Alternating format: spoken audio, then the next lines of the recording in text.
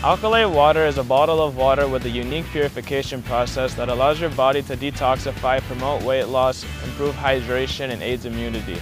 We basically found a way to give your body the perfect pH balance.